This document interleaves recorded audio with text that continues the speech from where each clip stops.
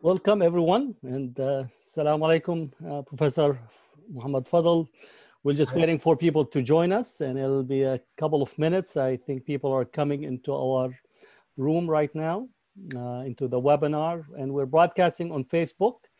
Uh, so if you are able to share it from your side, by all means, uh, we really look forward to having a, a rich and uh, enjoyable discussion. It's been really sometimes that I wanted to have uh, Professor Fadel with me. And uh, this is a good opportunity. I just saw the picture of him trying to get uh, acquainted, like many of us, uh, on teaching Zoom. Uh, so, well, that was kind of a humorous picture. It wasn't meant to be too serious. But. Well, that's what it is. I, I said to my students that these days you have to be both a professor and a techie because you have to navigate uh, the landscape of uh, online education. Uh, so welcome everyone. Assalamu alaikum. This is Dr. Hatem Bazian from the Islamophobia Research and Documentation Project at UC Berkeley and uh, Ethnic Studies. And this is part of our ongoing conversations uh, with uh, individuals, contributors, scholars, um, activists, and a whole variety of issues. We started this back uh, when shelter in place uh, occurred. And uh, we've been at it for some time. just to give you a short intro for our guest today, Professor Mohammad Fadel is a full professor at the University of Toronto, Faculty of Law. Uh, Professor Fadel wrote his PhD dissertation a uh, while ago on legal process in medieval Islamic law while at the University of Chicago. Uh, he, received, he received his J.D. from the University of Virginia School of Law. He has published numerous articles in Islamic legal history, Islam and liberalism, and Islam and finance. Uh, for those who are attending the webinar with us, I put access to his articles from the Social Science Research Network. Please, you can access it, as well as on Toronto uh, University law School, the faculty uh, page. You could access it there. Uh, follow him on Twitter as well. this is a way for us to have I consider uh, Professor Fadel as a public intellectual, that he is engaged in writing, but also uh, contributed in a variety of ways. So welcome and uh, thank you for being with us today. It's my great pleasure to be here. Thank you very much for this kind invitation.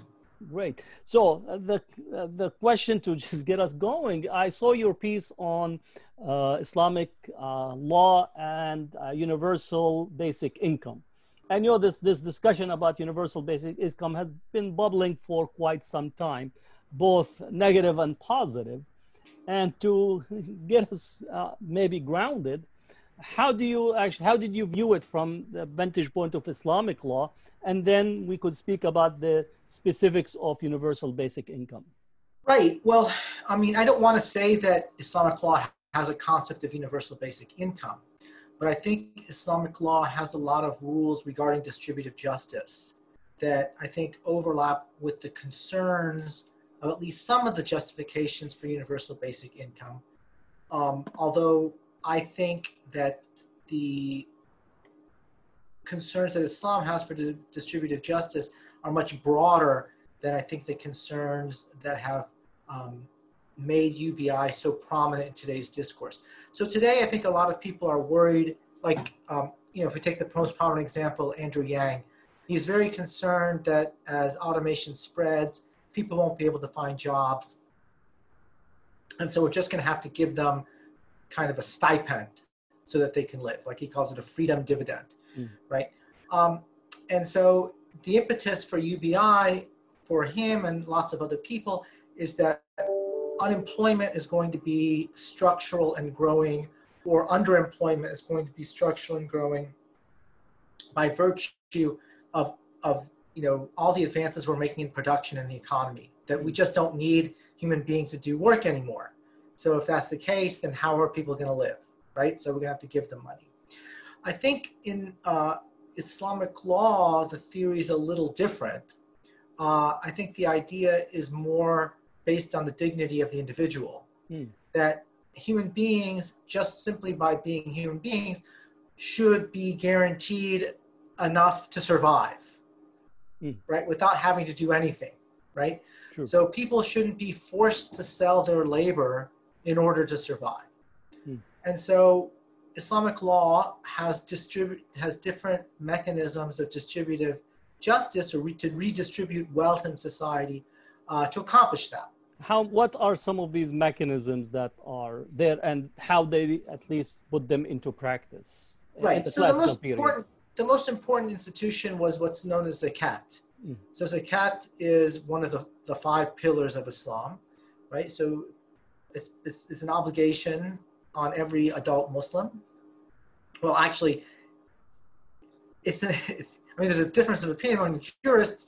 The mo- most jurists say it's an obligation based on the wealth, right? Not just not just um, adults, right? So if if a child is an orphan, let's say, and inherited a lot of money from his from his father or his mother or whatever, um, he too, that money he zakat has to be must must be paid on that money as well, right?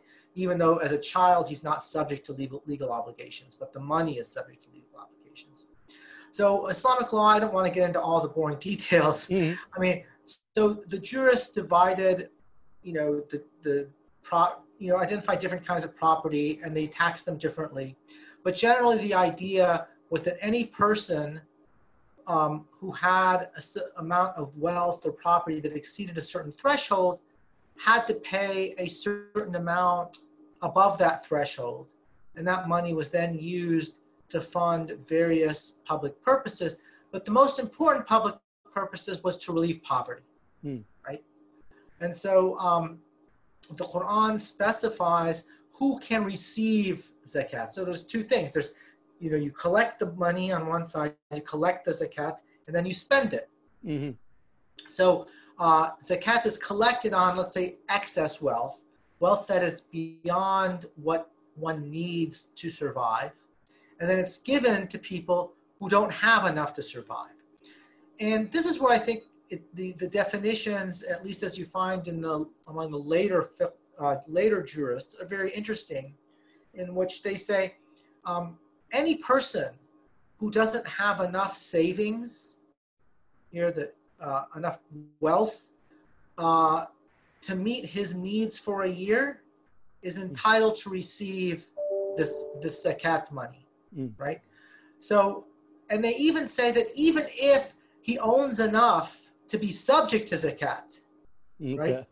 But it's not enough to meet his needs for a year. He's still entitled to take money from the treasury, right? Sure. Now, I'm not saying that Muslims were perfect in implementing this. I don't know. I can't get in a time machine and go back and see how well it was practiced.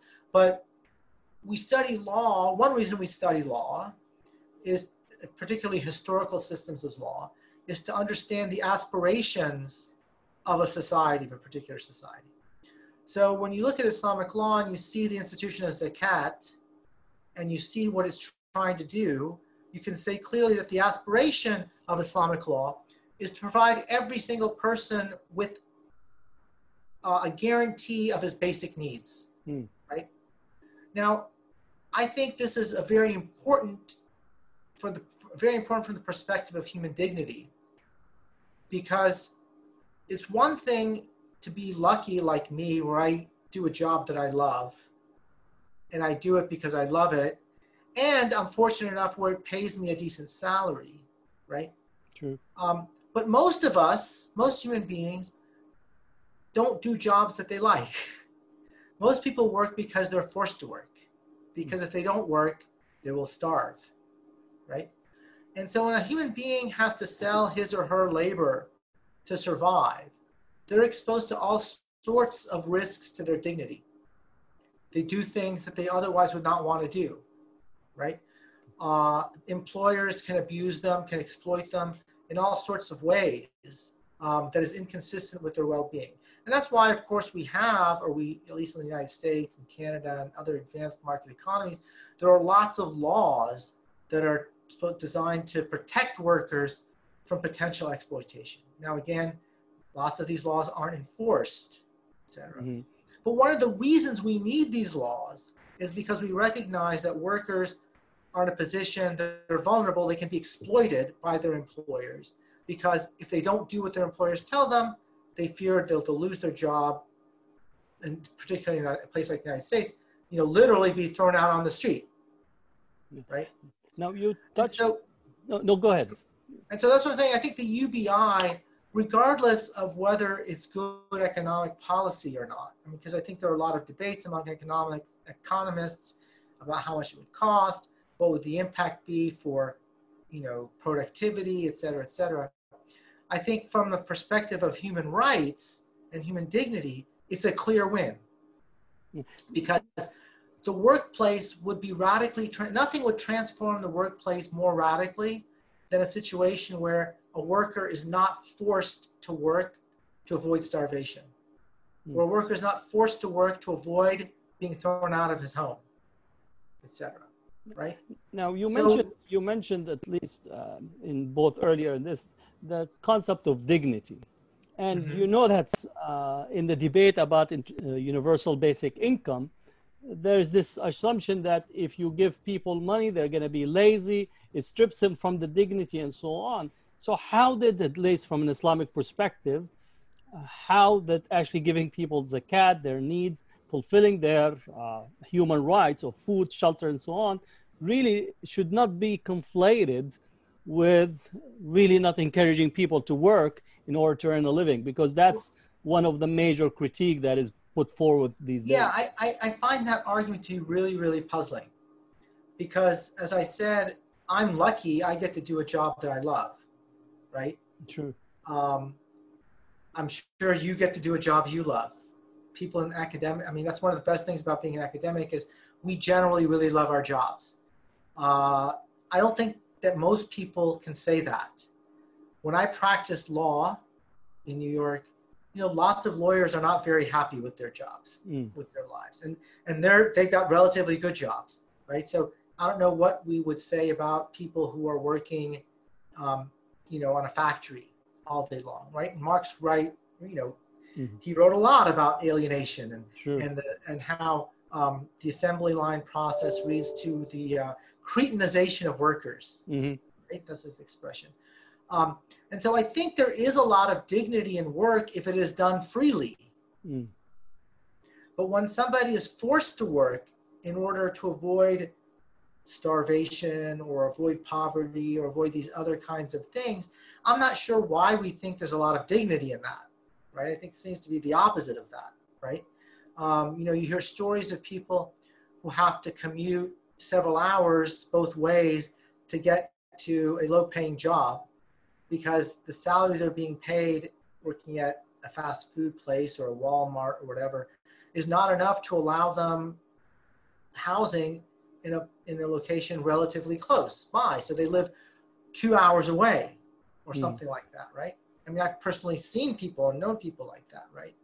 Um, and so I'm not sure where the dignity lies in that, right? And I think so. The Islamic view, I think, is a little different again, now we're moving away from zakat. But if we look at the laws governing employment of labor in Islamic law, jurists were always skeptical of employment contracts. Hmm. Um, and there are a lot of formal reasons why they were skeptical. But I think the true reason they were skeptical of employment contracts was because of precisely this risk that people are being forced to sell themselves uh, in order to, to survive. So it's a kind of slavery, mm. right? Because you're selling your labor output. So um, jurists placed a lot of conditions before an employment contract was considered to be binding. And if those contracts, if those conditions were not satisfied, then it became what was known as, you know, essentially an at-will contract. And the employee could leave whenever she wanted, right? Mm. If the work just was too much or she didn't like it or whatever, she could just quit and go home.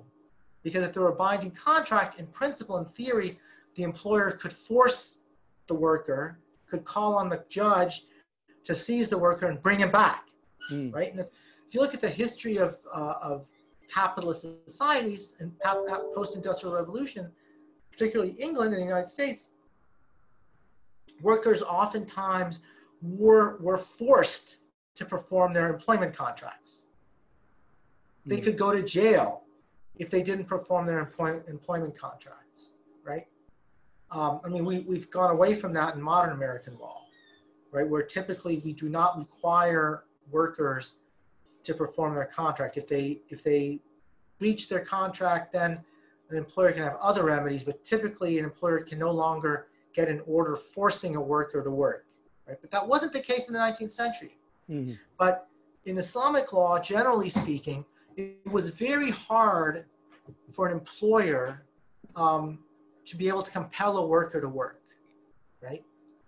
And the reason for that, I think, generally speaking, is that they viewed that as a way as, a, as, as degrading to the to the worker, right? And so, in fact, you would they'll say like some jurists, they, well, there's this principle in Islamic law that a believer does not degrade himself, Hmm. and they view typically the employer con the employee contract as a kind of degrading relationship because you are subject to the control of another person. But it was permitted for necessity because human life requires cooperation and a division of labor. And so um, employment contracts were allowed for necessity, but highly regulated to minimize the amount of exploitation that's, that's, that, that this relationship creates. Yeah. Well, as you know, in the US, uh, Canada, and uh, UK, uh, the notion of uh, providing somebody with money without labor is uh, critiqued as being part of the left, part of uh, communist agenda. So there's a lot of, again, attacks on it on this way. But the same argument is not made for subsidizing the wealthy and subsidizing corporation. So it seems that in here is much more of how really are attacking the idea without looking at its vi- viability in the market to address the issue of dignity and the issue of labor. Uh, because the question again from Marx, what who has the right to the surplus of the workers' labor? And that Yeah. still has not been really uh, completely adjudicated. Well, I, again, I think you know our attitudes, I you know, um, have changed a lot. Uh, Lord Keynes, in the you know first half of the 20th century, Mhm. um, you know, obviously he's a giant economist. Um, he was looking around the world and he was seeing all this technological progress, and he and many of the economists of his generation thought that because of economic progress, we were because of technological progress, human beings would be enjoying a windfall of leisure. Mhm. That we would be we would be freed from the burdens of labor, and then we could actually do things that we wanted to do, that made us better human beings, right? Um, and I think that's probably when you think about it, a lot more sensible i- of an idea. I mean, why is it that if we live in a world where we can have robots produce everything, why should we be sad that we don't require human beings to sit there and do repetitive tasks eight hours a day, 40, 40 hours a week? Shouldn't we celebrate the fact that now these human beings could maybe spend more time studying philosophy or studying religion or studying political science or poetry or whatever like that? But in order to do that, you have to be able to reallocate the surplus from production to everyone in society, not just those who own it. Mm. Right? I mean, this is the problem. Um, again, which, which Marx kinds of identifies.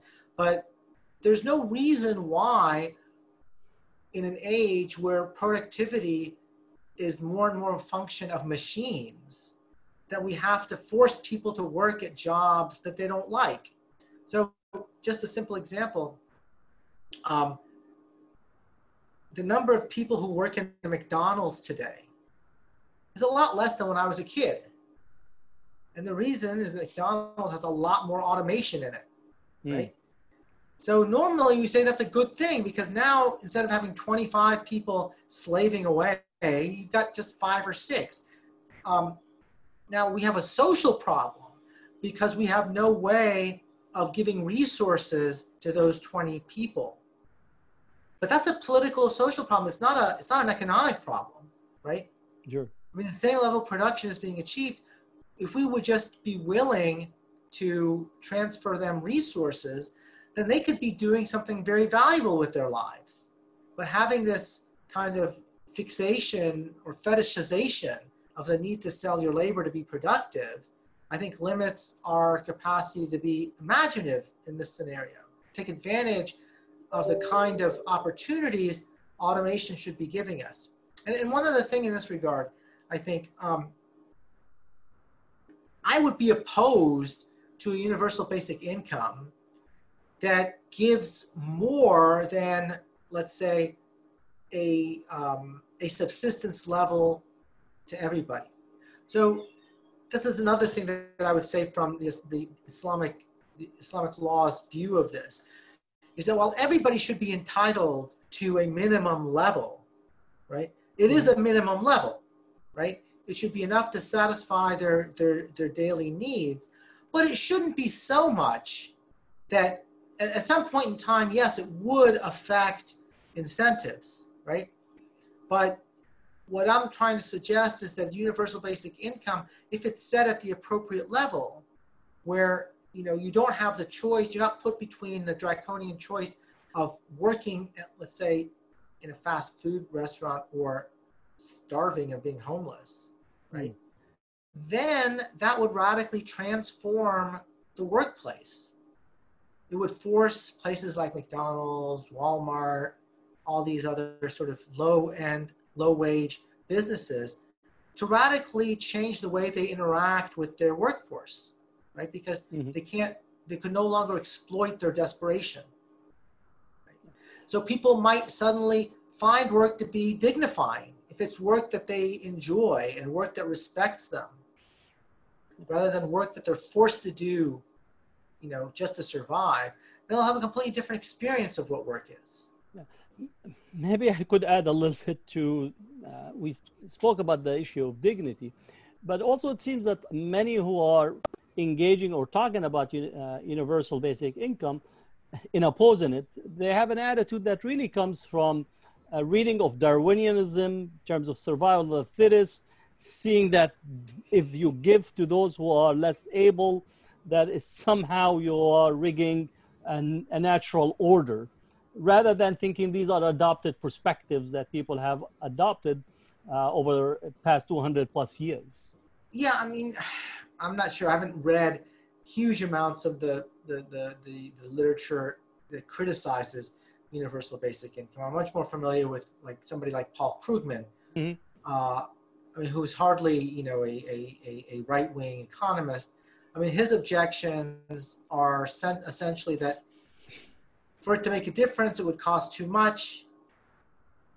But right? this is also the assumption that if you actually put liquidation in the market, it actually creates uh, a positive uh, distribution and a positive well, factors in the market overall. I mean, I don't, I don't know. I'm not an economist. I'm just saying yeah. his objections are more that, you know, it's, it's either going to cost too much or do too little, right? And yeah. so it's better, it's better to focus spending on people who need it. Now, again, I'm not sure technically how it would work. Um, I mean, I think what it would work is if somebody like me, if I get this universal basic income, it would just increase my overall income and then I would be taxed and it would go back to the government. So I, I understand the, the, the objection. Why would we give money to people who don't need it? Isn't it better just to give money to the people who need it? Um, I guess, except that oftentimes there are there are administrative costs associated with that.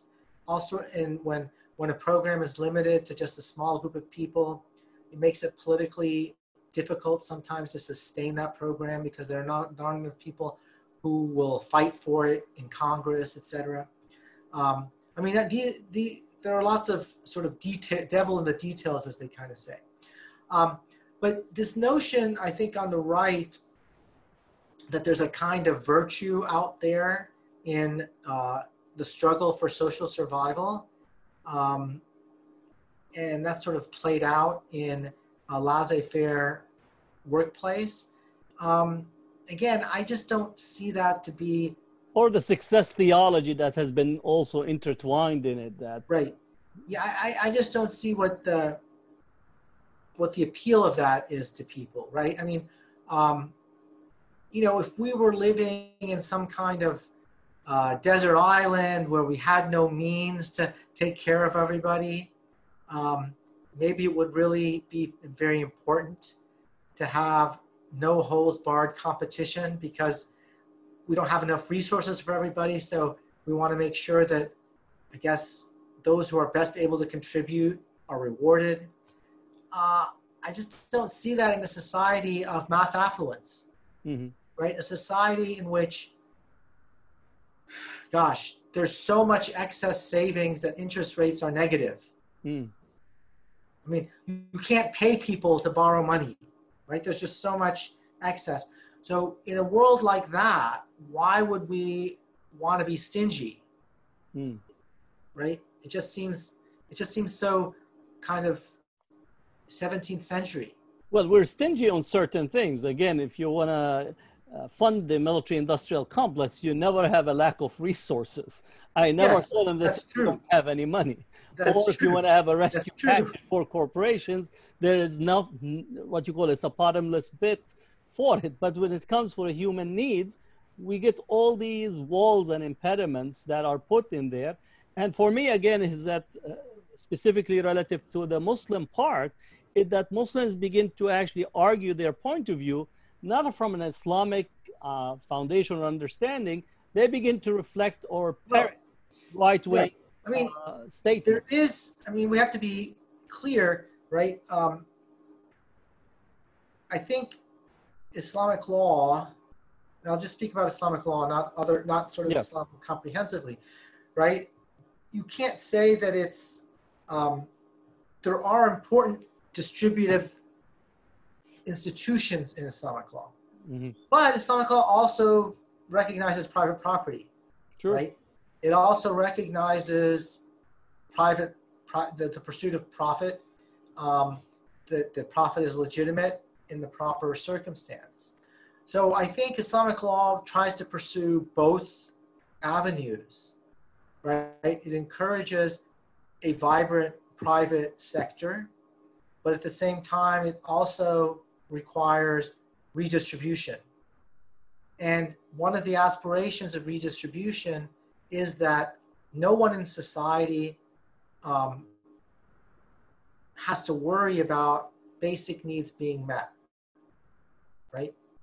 And so what I what I'm talking Which include again food, uh, shelter, food, shelter, water, clothing, uh, Uh, right. energy. Again, the, the, the three And- elements that the so- prophet spoke about. I think we, we can put these two things together and you can think about a market in some ways as being have the, the, there's a there's a market failure.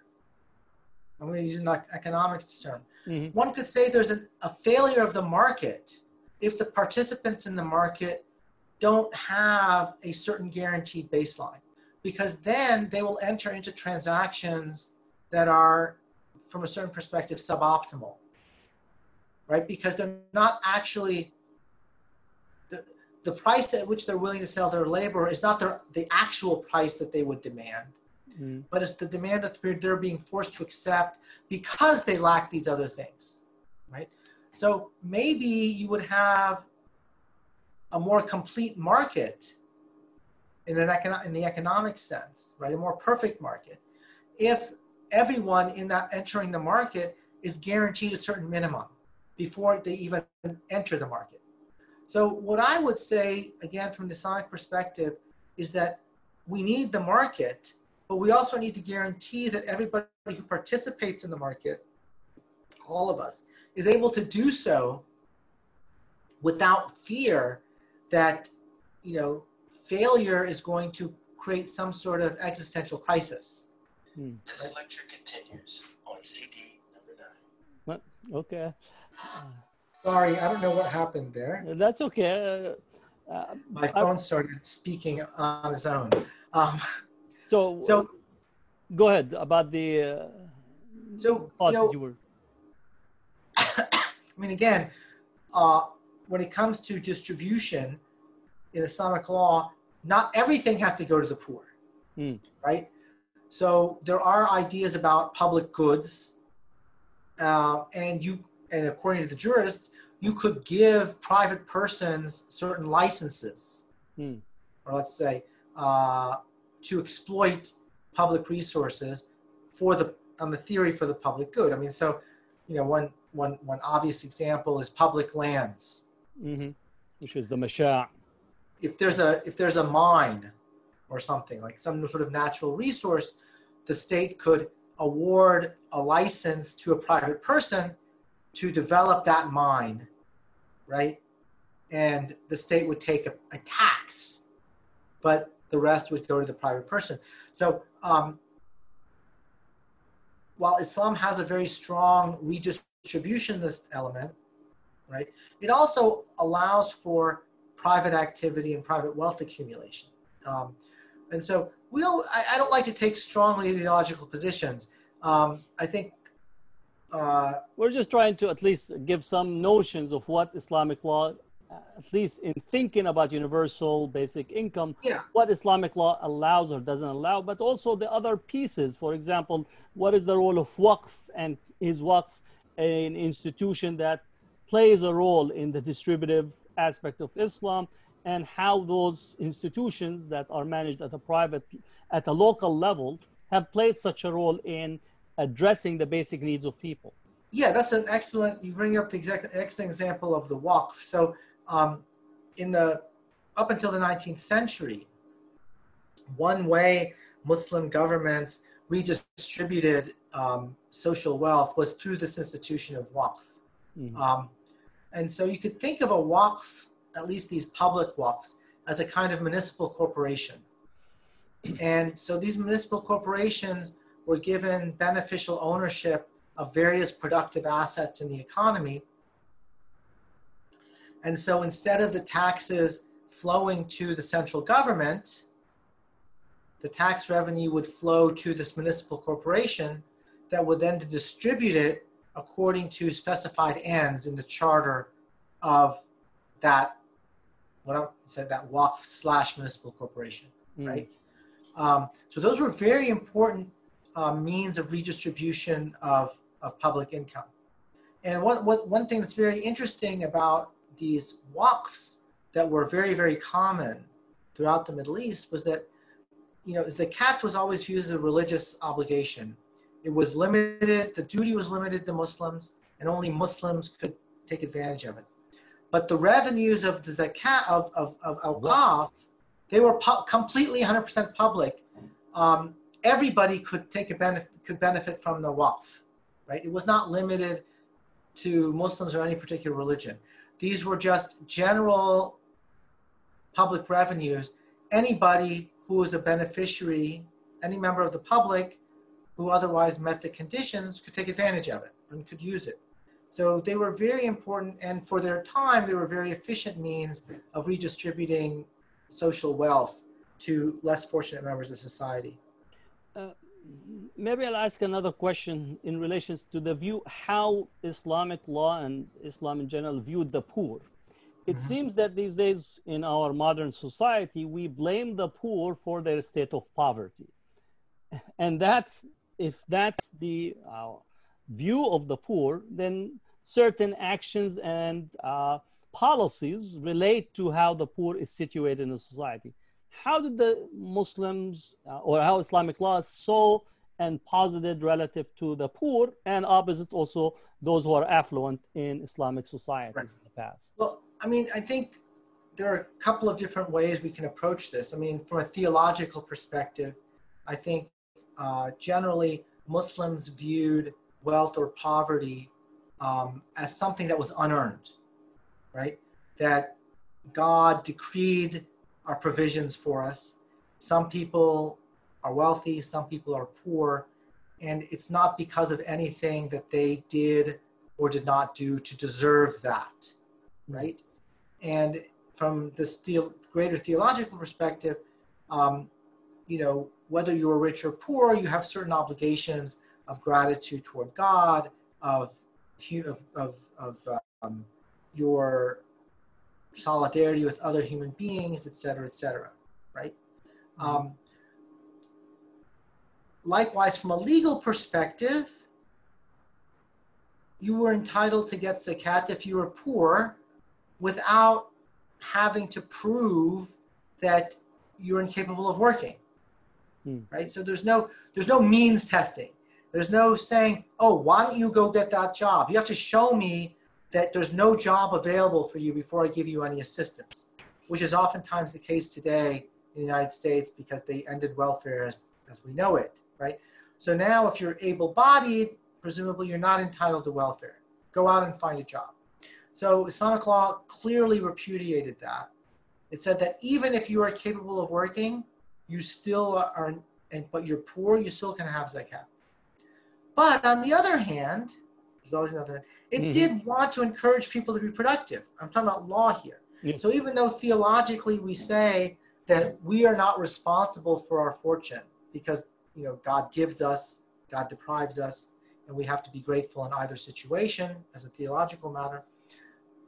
As a legal matter, um, the jurists are concerned that the law gives people incentives to be productive. So again, if we look at zakat, one of the features of the law of zakat was encouraging investment. So you would not be subject, your property is not subject to zakat unless you've owned it for a year. Hmm. In other words, you've had, you've had the opportunity to make it productive, right? Sure. Um, and for example, if you are a cultivator, if you're a farmer, and you provide irrigation for your land, as opposed to being irrigated by rain, right? You have a lower rate. So if it's rain-fed agriculture, I think it's 10%. hmm But if it's an aquifer that you dig, it's 5%. Yes. So um, I, I think Islamic law tries to synth- create, re- uh, you know, arrive at some, some kind of middle position that includes guaranteeing basic subsistence for everybody, while at the same time providing incentives for people to acquire. So I wanted to actually um, move to another subject, not in relation to in, international basic, in, uh, universal basic income, but your article about the uh, economies of the Middle East that just came out recently it was a short piece about what you consider there that the Middle East in general, in its post-colonial frame, uh, has in essence been left behind uh, in relations to its economies and how the economies then developed. So, where do you see the development in the region in from the economic perspective?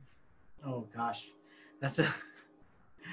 You know, I'm not an. I, I, It's not an economic. I think you. It's pointed to something which is again I, I was thinking about in relations to uh, a, the Arab world or Muslim world, common market, uh, cooperative relationship in the region. It seems that all that is non-existent, which keeps. Yeah, I mean, I think I think the problem that you have in the Arab world is you have this contradiction between population poor but capital rich countries, i.e., the Gulf, where you have very low populations, countries like Qatar, UAE, Kuwait, um, Bahrain, Saudi Arabia. Uh, but have huge amounts of oil wealth, more than they know what to do with, Mm, right? Because their local economies can't absorb all the revenue that their oil economies have generated. So this generates massive amounts of surplus that has to be invested abroad because there's no other place to put it, right? Now, for political reasons, well, excuse me, let me do one other thing. Then you have other countries in the region, like Egypt, the countries of the Levant, Iraq, etc., Lebanon. that are that are rich in human beings, i.e., they have high populations, but very low amounts of savings. So, in a rational world, right, they would cooperate with each other because the Gulf countries have excess financial capital, they need places to invest it. These other countries are human rich, capital poor, so they have lots of opportunities for investment, right? So they should they should work together. But because the politics of the states in this region is authoritarian, Hmm. right? States pursue policies in the interest of the rulers and not the ruled, right? True. Um, and so this, the, the ruling class of the oil states are much more interested in preserving their power so they can monopolize use of the oil rents, Mm. right? I mean, the, the, the, the, the path that economists would call for, i.e., integration, hmm even though it makes more sense for everybody in the region, it undermines the powers of those who control the oil. Right?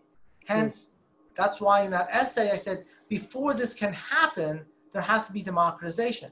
Mm-hmm. Because only if there were democratization would politics be accountable to the people, and then we could expect states to pursue rational economic policies as opposed to the self-serving policies that they pursue now. And one part of it is that the regional trade between countries is so limited that much of the trade occurs external to either the ex-colonial states or with major uh, trading partner outside the united states china india and so on which does not create the uh, economic synergies for the region both from uh, those endowed with resources as well as those endowed with the human capital Right. Well, I mean, again, a country like Egypt, um, it needs to have capital in order to compete effectively in the world market, right? And so it could get its capital from internal savings, but because it's a poor country, those savings aren't sufficient. So it has to get it from outside the country, right? Mm. But part of the problem, and this is another thing I was saying, is that um, you know you have the world today quite in a way quite contrary to the vision of the the, the GATT. I know most people don't like the GATT, but I, I like the GATT. Uh, um, the GATT was supposed to eliminate trading blocs. So between World War One and World War Two, you had trading blocs organized in these imperial systems. You had the British Empire, you had the French Empire, you had the Dutch Empire. Um, the Japanese were trying to get their own empire. And most global trade happened within these empires. And so people like Keynes and others thought that this was one of the biggest reasons that led to World War II, uh, because there wasn't free trade. And so after World War II, they wanted to create a not, not a free trading system, but a liberalized trading system. Take down barriers, allow countries to trade with each other on non-discriminatory terms, right? But what's happened is that countries have used what's known as the free trade area mm-hmm. to recreate trading blocs. So the EU is essentially a preferential trading bloc. NAFTA is a preferential trading bloc.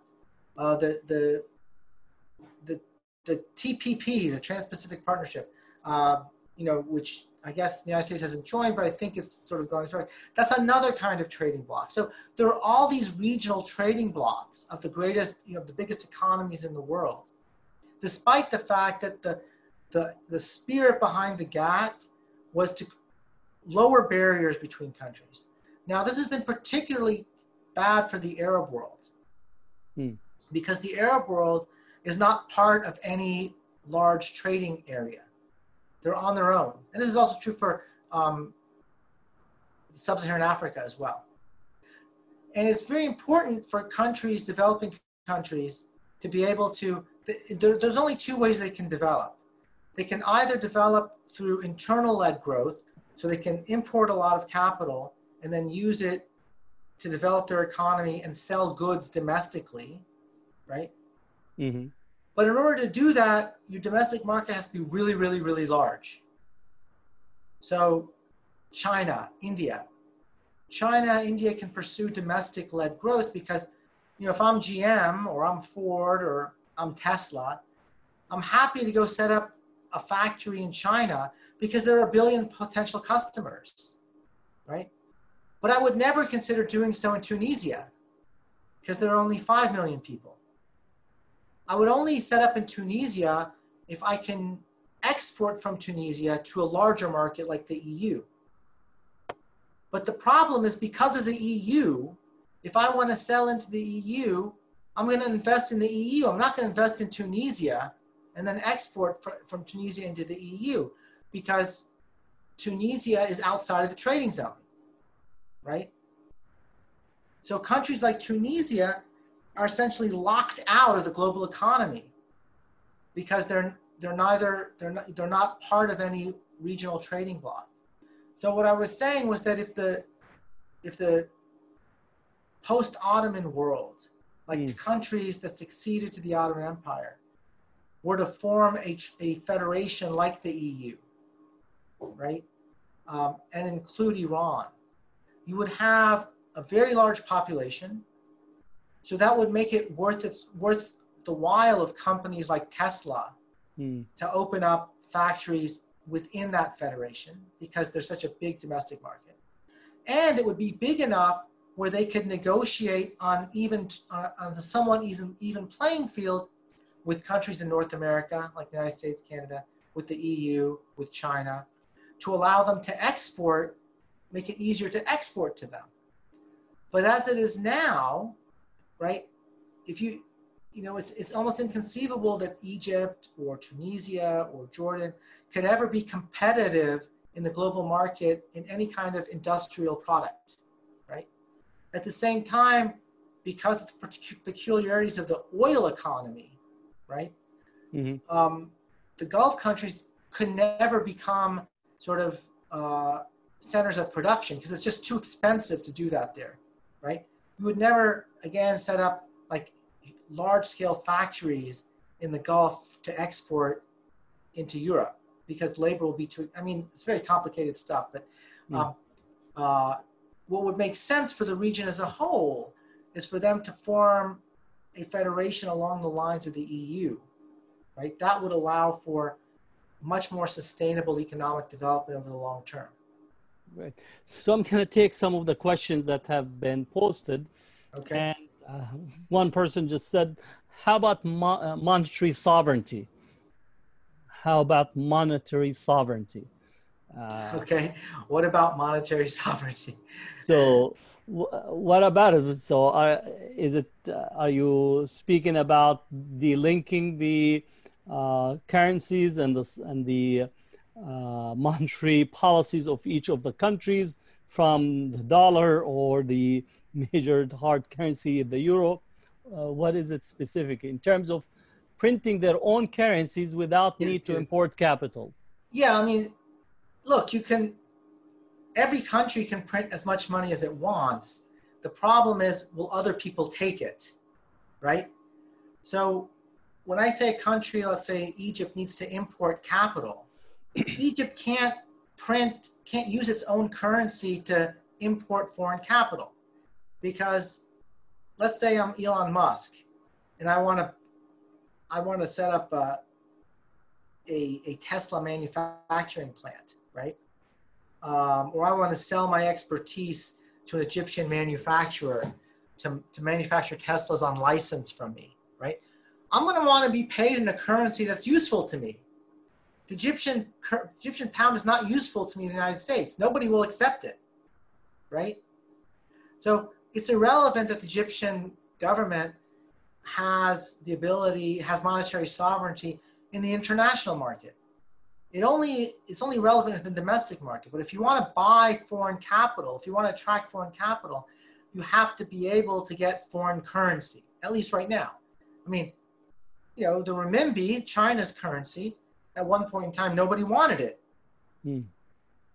But now, because China is the second largest economy in the world, foreigners conceivably would like to have renminbi because you can use it to do things. But you know, what good is me having a million Egyptian pounds in, in the United States? Zero. Nobody wants it. Right? I can't use it to buy anything. US dollars anywhere in the world, they're valuable because people can use them to buy goods from the United States, which are highly desirable everywhere. Okay. There's another question that um, from George, and it's a long question, so I'm going to read it, and then we could see. Uh, he said, I am troubled by the entire discussion of dignity. Uh, all of your comments seems to flow from the notion that all humans share your system of values of what is worthy and what is not. Uh, this is completely contrary to the Islamic sense of values. Uh, God created individuals with a broad spectrum of resources, abilities, etc. The wealthy individual is expected to give lots. The poor are equally respected if they give pennies. Many, many people obtain a great sense of dignity from their performance of what you consider menial, boring, etc.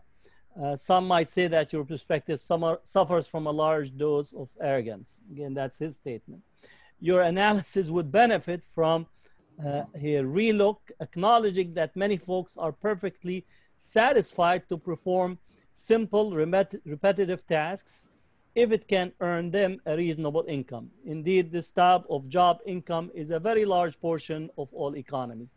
So again, uh, that's a question. So the notion of dignity and taking it possibly, I, I think our my questions uh, on dignity is uh, the critique that is often offered when the discussions about uh, helping and extending support for the poor that giving them free money quote restrict them of their dignity and their sense of self-worth i don't think that myself or as understand uh, professor Fadel but he could speak for himself about yeah. The, the issue that we were discussing just I mean, to correct the framing i don't know i guess it's i guess it's possible that some people are perfectly happy and think that there's no problem in their dignity if they are getting paid minimum wage to clean people's cars. I mean, I, I guess that's possible, right? I don't know.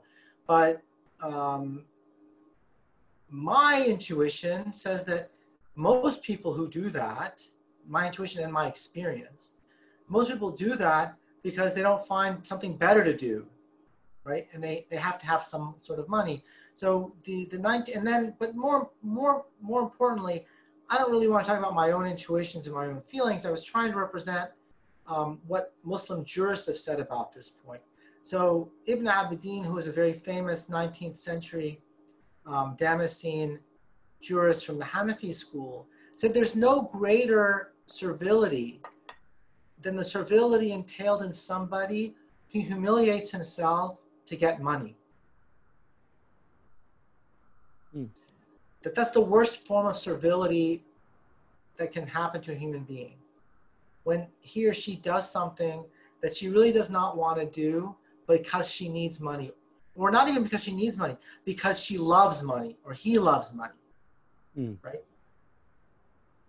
And so that's why they said that the love of money oftentimes makes humans servile right? Because they will do things that degrade themselves because they're so in love with money. So, at least from an Islamic perspective, some of our subjective desires are not good for us, right? Mm-hmm. And, and, and one of the ideas here, at least if we take these Islamic principles seriously, is that we might not know our true desires unless we live in a world where a certain minimum is guaranteed for everybody, where I don't have to worry about where I'll get my next meal. Right? So maybe I'll only get only be in touch with my true desires when I live in that world. But as long as I don't live in that world, I'm constantly forced to do things just for survival. So there's a saying that's attributed to Ali ibn Abi Talib. I don't know if I don't know if it's valid or not, but uh, what's, what's attributed to him is uh, كاد الفقر يكون كفرا that poverty is almost the equivalent of atheism. And what he means by that, or I think what he means by that, is that people, when they're desperate, they lose their sort of moral restraint and they become more, um, they become less human as a result. So if that's the case, if you think that there's some wisdom in that, then we should, for moral reasons, not economic reasons in the sense of productivity, but for moral reasons, for the dig, for the moral dignity of human beings, you know, try to get rid of poverty. Uh, Chris has a question. He says UBI will allow corporations to skirt increasing pay of, of employees uh, for another decade or two. Uh, why would not get corporations to pay fair wages and rates? Uh, this would benefit all poverty stricken individuals, regardless of country or region. UBI is another corporate bailout, while the workers have not had a raise since 1979, adjusted for inflation. This is the problem. Poverty is the effect, and it is, is it's not this simple. I mean, I, I don't know. I'm not. I'm not going to claim to be an expert on um, second order consequences of UBI, uh, although I'm sure that a different causal relationship between UBI and wages could be made. For example, you know, if I'm guaranteed from the government an income of $18,000 a year, then presumably the minimum wage, the minimum that a, an undesirable job would have to pay me would be at least that much, right? So, I mean, I don't know how much minimum wage is, you know, in the United States, but if it's if working full time at that does not get you to the UBI, then obviously it's going to have to go up, or else I'm not going to be able to get workers. So it's not clear to me how that would affect the supply and demand curves in the employment market. Um, but generally speaking, I'm kind of suspicious of blanket demands that all employers raise wages to a certain level. Ultimately, the long run wages of any kind of business can only be sustainable if they're at a level that's consistent with the business's ability to make a profit. Um, and that's going to be a function of the profitability of each firm. Some firms are barely profitable. So if you raise, if you force them to pay more money, then either they're going to go out of business or they're going to find a way to substitute machines for human beings.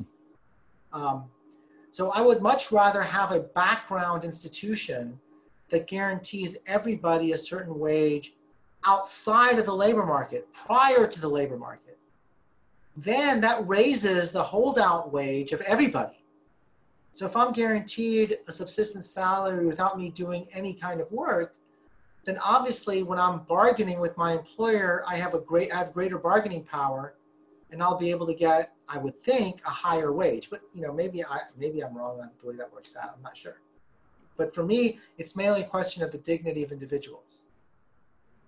Um, I think we have a question here which is a little bit long, but I'm going to sum it up to say in his book, Introduction to the Principle of Tafsir, uh, Ibn Taymiyyah outlines some of the mistakes people make when interpreting the Quran. He writes, the first problem which arose was people believing in certain ideologies and then interpreting the Quran to fit those ideologies. So I think what he's pointing, he says, I feel Muslims are doing, in essence, they're they have a particular ideology and then they try to fit Quranic interpretation or Islamic law into it. Again, the issue of um, universal basic income is something coming from outside Islam. So that's, I think, the just of what is uh, being in there. He says that they embrace leftist rhetoric or right wing ideologies instead of grounding themselves in the normative teachings of Islam. Well, I mean, I don't know. You could always make that argument against everybody, right? I mean, if if if that's true, then it applies to everybody. Um, so you can always criticize somebody saying, "Oh, oh, that's not really a fair reading of Islamic sources. That is the um, that's the uh, that's the Adam Smith in you reading the Quran, or that's the Karl Marx in you reading the Quran, or that's uh, the um, the John Jacques Rousseau in you reading the Quran, right? Or that's the uh, Plato in you reading Quran. Uh, the very the, the, simple reality is, um, whenever we approach any kind of text, we're going to be reading it through a combination of the subjective characteristics that we have as a reader, along with the objective characteristics of the text that we're reading.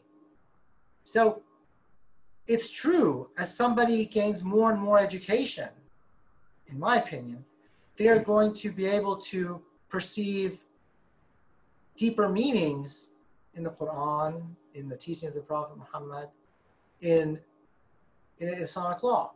But that doesn't mean they're forcing it there. It just shows that they have deeper insight. So I'll give an example here of Ibn Rushd, who was the great um, Muslim philosopher of Spain and also a great jurist and theologian, polymath. He, you know, he memorized Kitab al-Aghani. so um, these were people of great intellects, far surpassing, you know, what we do today. I mean, maybe they had nothing else to do but read. But in any case, he has this short book called Fasl al-Maqal Fima Bain al-Hikmati wa Sharia min Ittisal, in which he's, he's, it's a book in which he tries to say that, um, or tries to outline the unity of philosophy and revelation. And one of his points is that when somebody reads the Quran, their ability to understand it is going to depend on the level of their own intellect. So somebody who's never studied, right? When he or she reads the Quran, she's going to understand it in, at one level. Somebody who has a higher level of education is going to be able to understand it in a different way somebody who has a sort of really deep philosophical scientific education is going to be able to understand things in yet another way. But those are all modes of communication that the Quran intends because the Quran is universal. So if human beings have different capacities and different talents and different inclinations, the Quran has to speak to everyone. And that's one of the things that Ibn Rushd says is so amazing about the Quran is that it has this capacity to speak to everyone of all different intellects. So I don't think there's this that we can take seriously this idea that there's one meaning in the Quran that is independent of our own subjective characteristics, right? Our, subject, uh, sorry, our subjective characteristics are just as real as the true meaning of the Quran. We have a question from your side of the, uh, the continent from Ontario, possibly, uh, Ferial. She said Ontario residents, parents receive child credit, money they receive per child. For some of the people, it takes away the incentive to work, and they try to make do with this stipend they receive from the government, which again, possibly contemplated that universal basic income will be again a de-incentivizing of people to work. Well, that's only true if you think taking care of children is not work, mm. right? I mean, taking care of children is work. Um, and again, in Islamic law, um, the hadin, the, the person taking care of the child, is entitled to be paid. Um, mm. That is a kind of work. Um, in fact, that's one of the reasons why the government in Canada gives credits is because they want parents to take care of their children, right?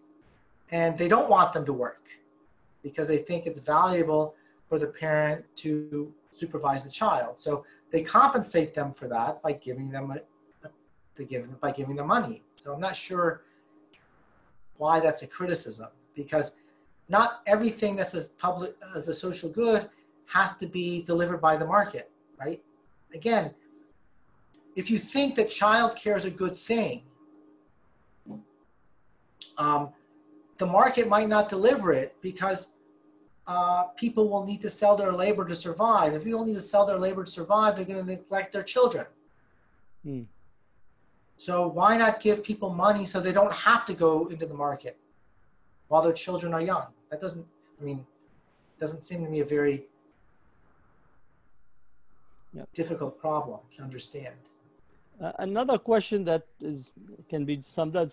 It seems that uh, in universal basic income and other elements is attempting to fix a symptom of the larger problem, which is uh, the whole capitalist economic system uh, that makes uh, distributive wealth an impossibility. Well, the market comes with advantages and disadvantages. The advantage of the market is it's very efficient in distributing scarce resources. The disadvantage of the market is that the outcomes are quite unfair, right? So somebody like Bill Gates, Jeff Bezos, Elon Musk end up capturing massive amounts of wealth that are socially generated. The good thing about it is that we get Teslas, we get Windows, we get, you know, overnight delivery of all the things that we need, right? So um, we should never look at just the bad side of, of an institution. We also have to look at the good side, right? So the market is extremely efficient in allocating resources, but it's very bad in distributive justice. So what the modern sort of welfare economics approach is, is let the market do the market and then tax it and redistribute it. Now, I think that's very consistent in spirit with Islam's attempt to reconcile these two things. Now, the problem in the United States is very peculiar to the United States, that it's almost impossible to implement effective redistribution policies in the United States because our government, our federal government, is so structurally divided. Um, so you have a group of people, i.e., Republicans, who are ideologically opposed to any kind of redistribution. So you have an imperfect, a very imperfect implementation of welfare economics in the United States, where in theory, we should be taxing a lot higher. So people don't realize this. I mean, they think of like, like um, uh, Bernie Sanders would always point out the Scandinavian model as something he'd like the United States to work towards. But what is the Scandinavian model? The Scandinavian model has a very efficient market economy. Like, for example, employers have a lot of rights to fire workers and things like that. But they have a very expansive social safety net. So they have both things. They have a very, very efficient market economy combined with very high rates of taxation and redistribution. But in the US, because of the peculiar features of our Constitution, it makes it almost impossible to implement you know, meaningful redistribution. So we do much less redistribution than you know, countries like even Canada, or to say nothing of France or Germany or, or, the, or the Scandinavian countries. Um, last question I'll take is also Chris. Does your argument still hold up in monopolistic economy like the US, where elite industry leaders have arguably nullified the free market system through, through conglomeration? Uh, would UBI empower the worker uh, to not accept a low wage when diversity of employ uh, of employers and options are not there for them. So again, we're increasingly in the United States, as you already pointed to, we're moving toward maybe having one or two major conglomerates running everything. Uh, right now, everything that you get is from Amazon. Right. Uh, and um, uh, the so so again in our economy we have you know um, radically different outcomes based on the kind of labor, the kind of skills that one has. So, you know, students at your institution, Berkeley, generally speaking, um, when they graduate, they will they will do well in the workforce because they will have a lot of valuable skills, and you know they'll earn a lot of money. They're part of the lucky few that will have the opportunity to do something that they find satisfying, right? Um, they're not going to be working in fulfillment centers in Amazon for sure. Now, I would guess, again, I don't know how much people make at fulfillment centers in Amazon, but from what I take, from what I hear of working in a fulfillment center, it's a pretty miserable job. So if you're guaranteed a certain level of income, whereby you can sort of survive, you know, and basic and keep your basic dignity intact, without having to wear a diaper because you have to work continuously for so many hours to meet demands in the fulfillment center, why would you agree to work at a fulfillment center? Right? So again, it seems to me that um, something like a, a universal basic income would put pressure on a company like Amazon to change conditions for its workers. Now, a company like Apple is very different because Apple doesn't have like unskilled labor, right? Um, all of Apple's unskilled labor essentially is in China, but it doesn't work for Apple. It works for Foxconn. I mean, that's a different that's a different question entirely. We would need to talk about the global uh, division of labor, but lots of lots of the most profitable companies in the United States have very few employees, or the only employees they they employ are high skilled engineers, marketers, stuff like that, like stuff that your your graduates will do right? But the the really drudgery, the drudgery part of the work, putting it together, putting iPhones together, iPads together, that's all done in China. So I teach an international business transactions class. One of the things I have my students learn about is the global division of labor and supply chains and what working conditions are like in China to produce iPads and iPhones, right? Um, but that's not a problem that you know your students will face right? It's chinese right? If you work at apple you're just going to be working in design and, and intellectual property type stuff so yeah ubi would not affect apple but i think it would affect amazon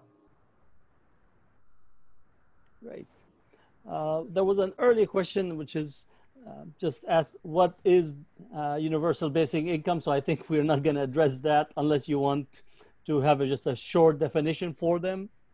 Universal basic income is the idea that every single person is entitled to a certain amount of money just for being alive, right? And that this should be enough to sort of get you by. Thank you uh, we came to uh, really the conclusion and the end of such a rich and uh, uh it, intertwining again to many different uh, avenues in economics, universal basic income, Middle East. Uh, I was enriched in terms of the conversation, and definitely there are many issues that would arise from this, and look forward maybe to another future conversation with Professor Fadel. Thank you very much for being with us. Thanks for our um, attendees and those who joined us on the webinar and also uh, on Facebook Live. Uh, look forward for another conversation. And if you also, if you have suggestions, by all means, I put all uh, the resources from uh, Professor Fadel's writing, so access it on the chat and uh, make sure to follow him. I know I follow him in Facebook. He does also engage constantly, puts a lot of good articles and good materials. Uh, so really, thank you, uh, Professor Fadel, for being with us. Wish you and all your family the best. And I know that your daughter is with us in Berkeley, and she has joined us in web webinar. So we welcome her also at Berkeley. So now you have an incentive to visit in person once the shelter in place is actually is behind us. Great, inshallah. Okay, thank you so much. Thank you. Okay. Assalamu alaikum.